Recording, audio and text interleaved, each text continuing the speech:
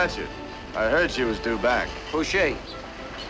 She worked in the saloon here. She's a nice girl, friend of Ellen's. Oh. Uh-oh. There's bad news. Tad Stewart.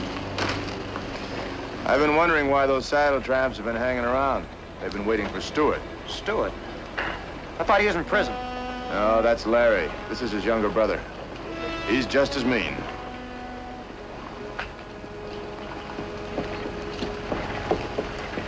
Welcome back, Lil. I don't ask me if I'd meet you. Hello, Johnny. This is my deputy, Cully. Ma'am?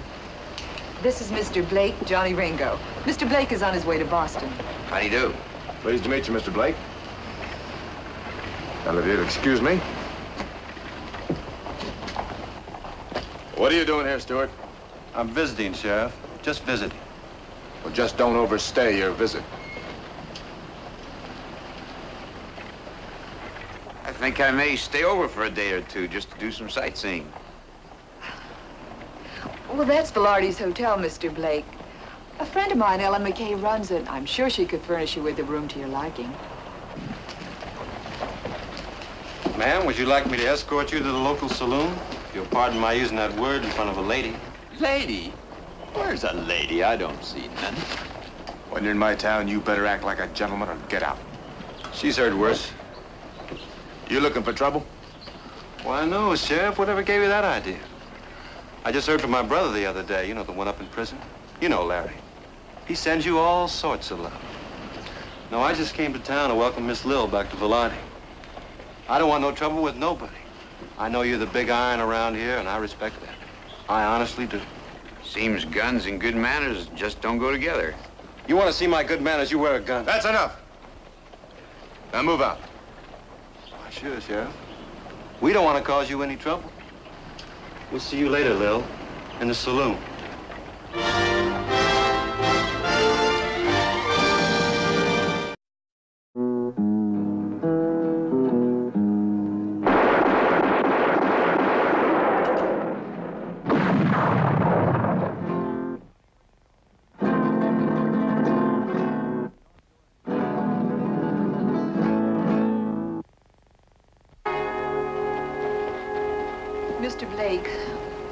I wouldn't want you to get in any trouble over me.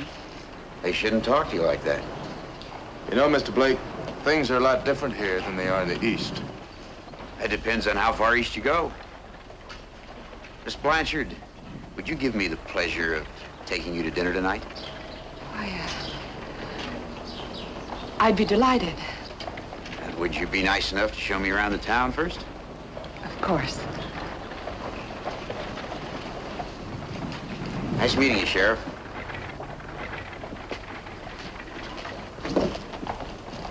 Looks like the East has met the West. Oh, come on now, Mace. That ain't nice.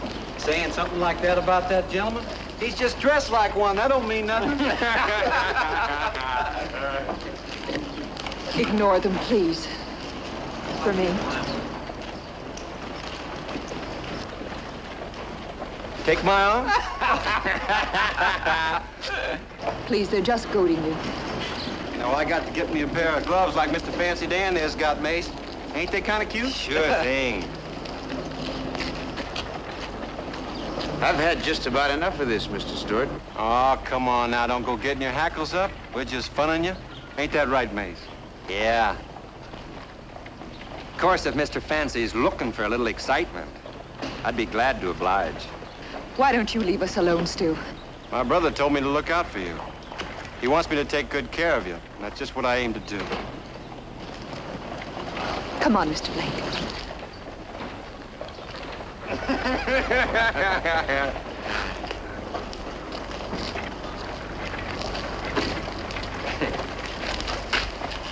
Why do you want to keep dogging her like that, Stu? I want to make her life miserable. Getting her run out of Frisco was just the beginning.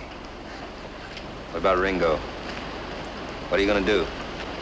We'll talk about that up at the hotel.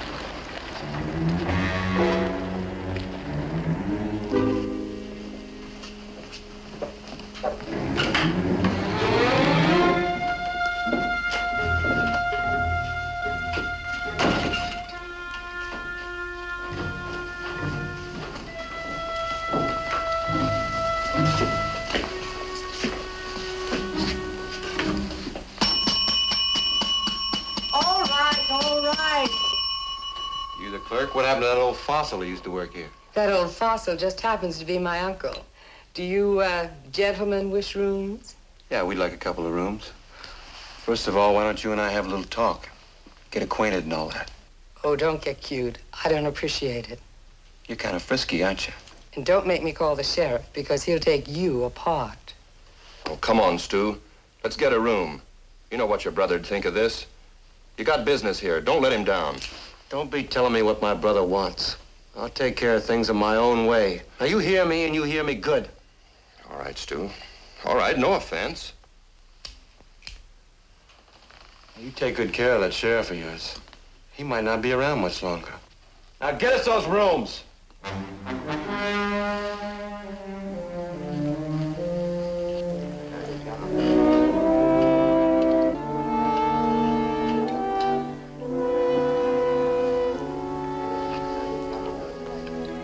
Live here in Velarde? I used to. I worked in the saloon. Oh. I'm probably not like the ladies you know in Boston, but I guess I'm not even what you'd call a lady. I think you are. You've been very nice to me, Mr. Blake. Jeff, Nicer than a man has been to me in a long time. But you don't know anything about me. I know enough to like you.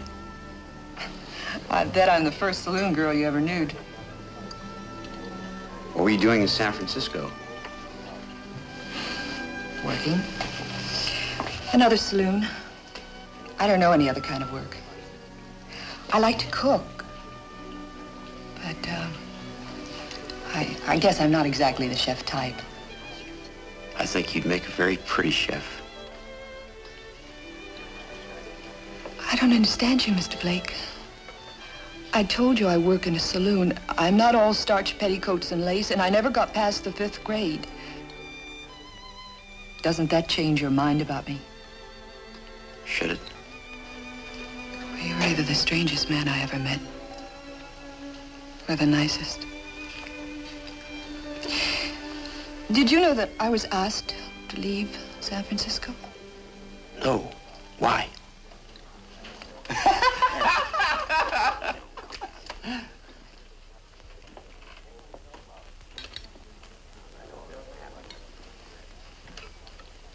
About some nice warm coffee, Liv?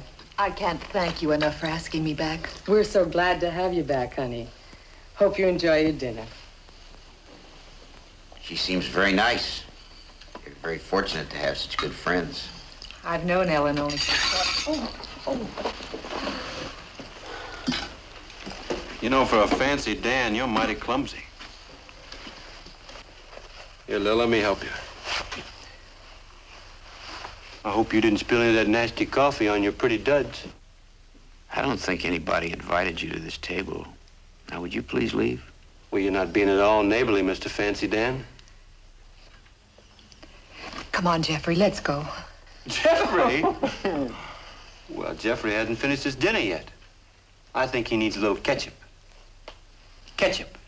Hmm? Yeah, yeah, sure, Stu. Now, that's just about enough. I'm telling you for the last time, I've had enough of all of you. Now, you leave Miss Blanchard alone, or I'm going to have to do something I don't want to.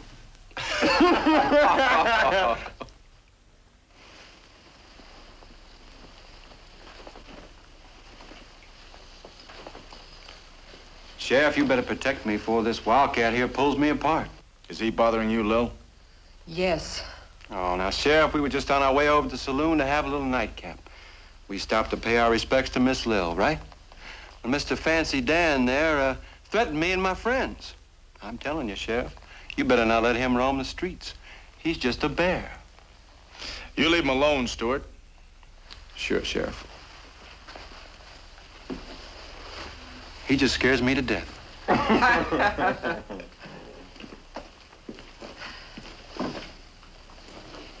Jeffrey, I have to go change. Got to get to work. Could I see you later at the saloon? No, no, not there. Maybe tomorrow? Fine. Good night, Johnny. Good night. Mr. Blake, you mind if we join you? Oh, please do, uh, Mr. Ringo, Cully. Just don't ask me to pour any coffee.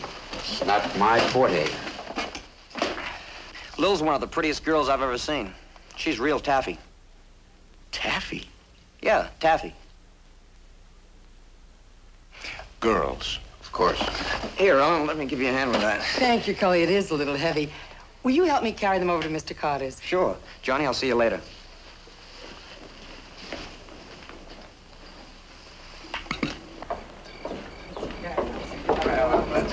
I didn't realize how heavy these baskets were.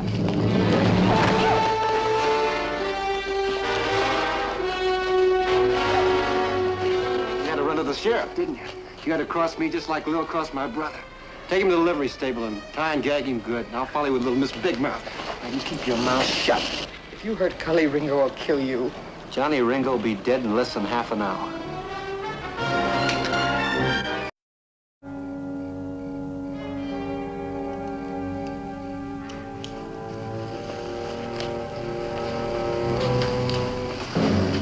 All right, now I'll grab Lil, make a ruckus. That'll bring Ringo.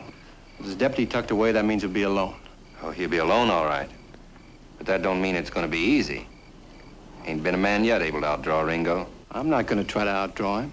I'm just going to try to get him worked up enough to want to fight me. Now, you two go out and wait. When I get him outside, he'll get everybody off the street and it'll be dark. Mace, you be across the street. He won't see you. And you get him before he gets a chance to draw. You understand? Got it. All right, let's go. Tell me, Mr. Ringo, what else do you know about Miss Blanchard? Nothing much except what Ellen told me. Her father died when she was a child. Then when she was 15, her mother passed on. She was alone. The saloon keeper and his wife took her in. But she was proud. She wouldn't take charity. So she went to work in the saloon, waiting on tables. I see. I think I can understand now. Working in a saloon doesn't help a girl's reputation, Mr. Blake. But Lil's a fine girl. She told me she was asked to leave San Francisco. Yes, I know. And I think I know why.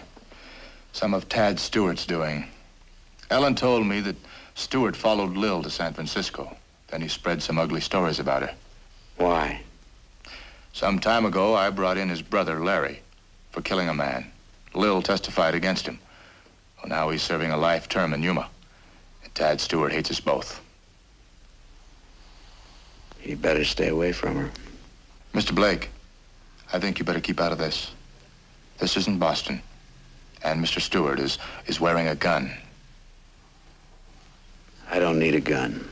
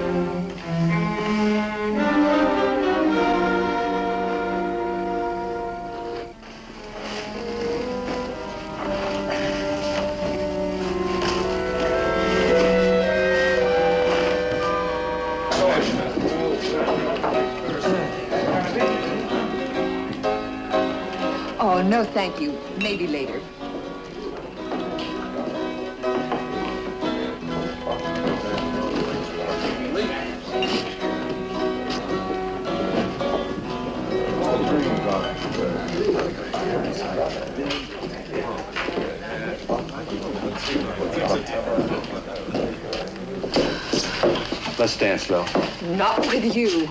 I haven't sunk that low yet. I said we're going to dance. Now, come on. Play something.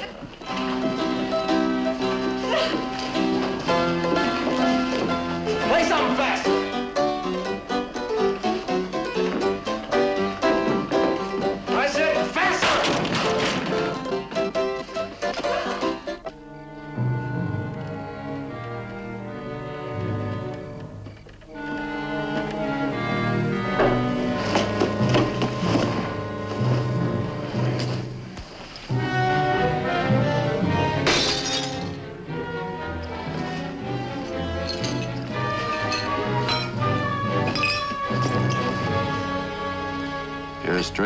Man, Mr. Blake.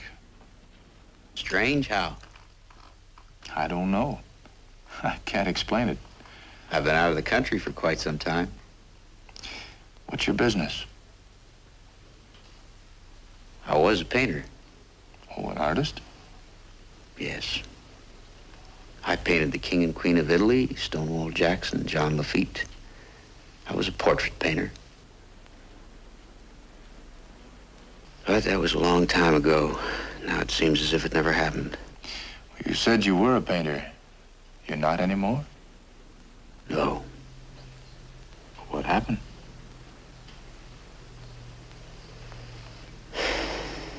I was married. We had a little boy. They were killed in an avalanche. I'm sorry. We were in the Swiss Alps, climbing. Susan and Richard were very good climbers. I was in the lead. I heard a deafening roar. The whole side of a cliff crumbled down on them. I tried to dig them out with my bare hands, but they were too soft, too weak. I had to get away after that.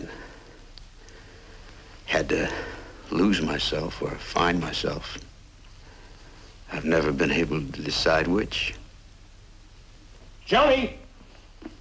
Oh, Johnny, I've been looking for you. I couldn't find Cully. He's not at the office. What's the trouble, Luke? Well, it's that whelp Stewart. You, you know he's awfully handy with a gun, and, well, no one would step in to help. What's he doing? Oh, he's all liquored up. He's got Lil, and he's dancing her all over the saloon. She's about to pass out.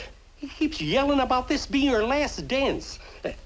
And his two buddies, they've got Sam playing the same tune over and over. I'm going with you. All right.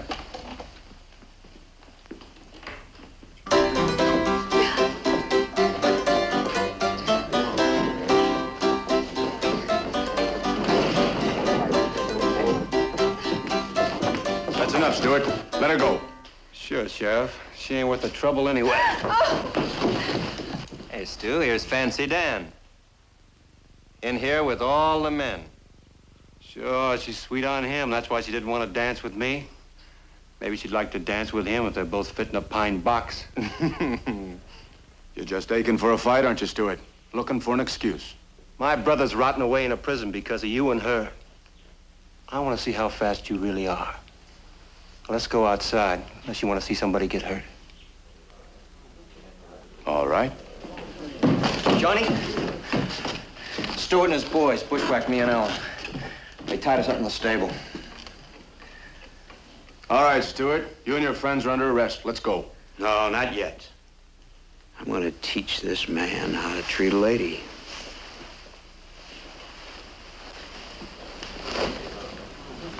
Sheriff, I told you I didn't want any part of this. I didn't want to hurt these men.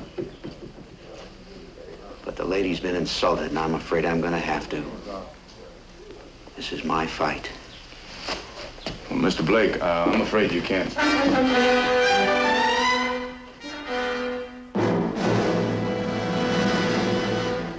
What's the matter with you? What's the matter with your hand?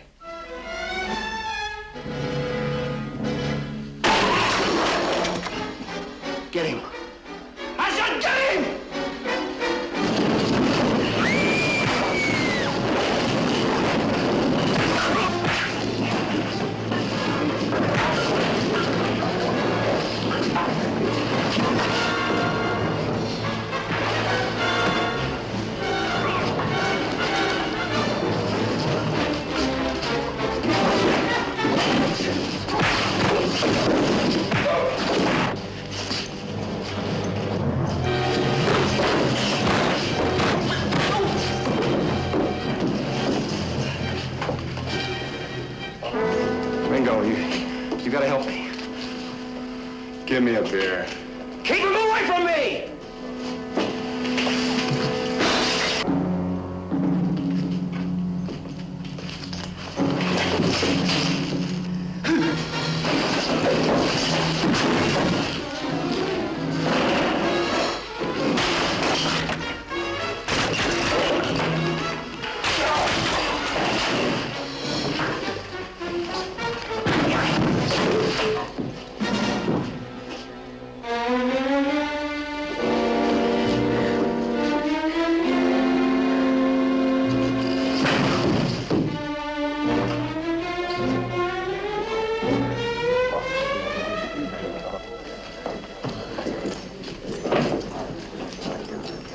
Blake, I've seen and been in some fights in my day, but I've never seen anything like the way you took care of those men. That was the darndest thing I've ever seen. Luke, have some men take care of them. Sure, Johnny. It'll be a pleasure. And you better get Doc Bardell. I think they'll need him. Jeff, you were... Mr. Blake, I see why you're wearing gloves now. Yes. I told you, Mr. Ringo, that I was in the Orient. While I was in Japan, I studied the art of karate. Well, I've heard of karate. One hand is hardened, used as a weapon. Yes. I studied jujitsu first, then I advanced to the higher art of karate. I almost achieved the black belt, the highest symbol of the karate art. But I never mastered the art of inner meditation and restraint.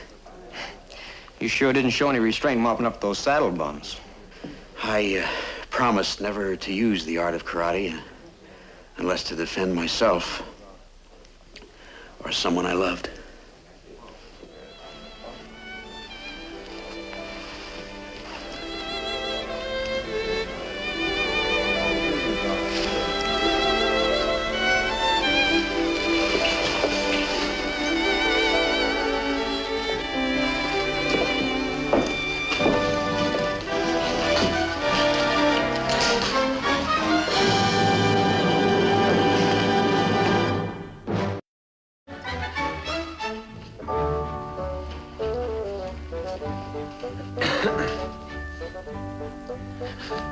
Well, what's the matter? Go on.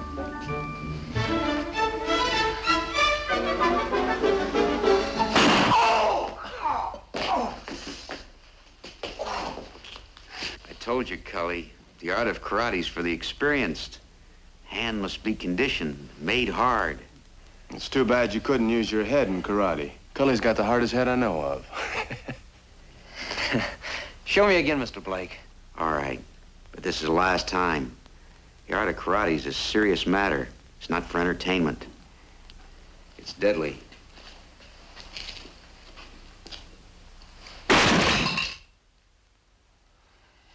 Boy, I'll say it's deadly. Tell me, Mr. Blake, uh, what are your plans now? Well, I guess I'll be going back to Boston in a couple of weeks. Perhaps I'll even paint again. Have you finally decided whether to lose yourself or find yourself? A little of both. Excuse me.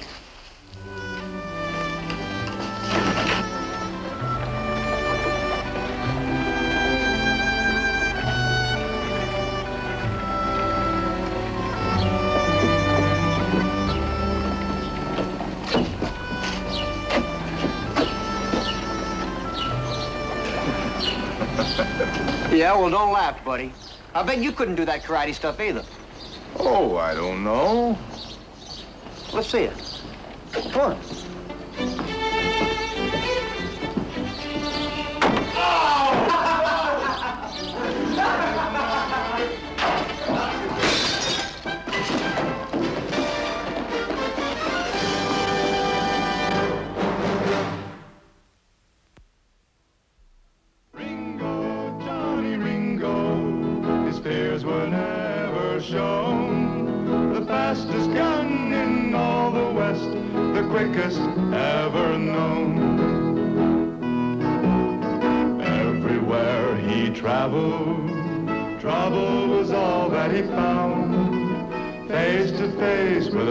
A man set to prove that he could shoot Ringo down. Ringo, Johnny Ringo, his fears were never shown. The fastest gun in all the West, the quickest ever known.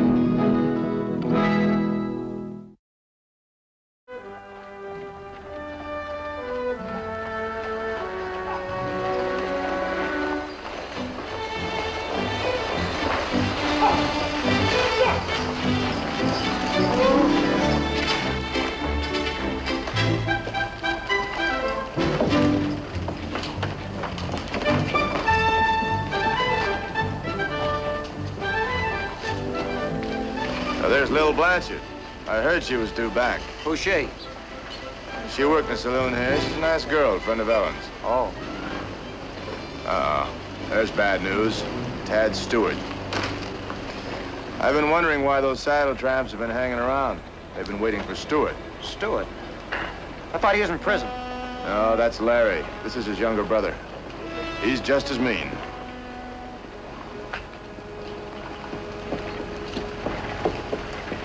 Welcome back, Lil. I don't ask me if I'd meet you. Hello, Johnny. This is my deputy, Cully. Ma'am? This is Mr. Blake, Johnny Ringo. Mr. Blake is on his way to Boston. How do you do? Pleased to meet you, Mr. Blake. Now, if you'll excuse me. What are you doing here, Stewart? I'm visiting, Sheriff. Just visiting. Well, just don't overstay your visit. Think I may stay over for a day or two just to do some sightseeing. Well, that's Velarde's Hotel, Mr. Blake. A friend of mine, Ellen McKay, runs it. I'm sure she could furnish you with a room to your liking. Ma'am, would you like me to escort you to the local saloon? If you'll pardon my using that word in front of a lady. Lady? Where's a lady? I don't see none. When you're in my town, you better act like a gentleman or get out. She's heard worse. You looking for trouble? Why, no, Sheriff. Whatever gave you that idea? I just heard from my brother the other day. You know, the one up in prison? You know Larry. He sends you all sorts of love. No, I just came to town to welcome Miss Lil back to Velarde. I don't want no trouble with nobody. I know you're the big iron around here, and I respect that. I honestly do. Seems guns and good manners just don't go together. You want to see my good manners, you wear a gun. That's enough. Now move out. Sure, Sheriff. We don't want to cause you any trouble.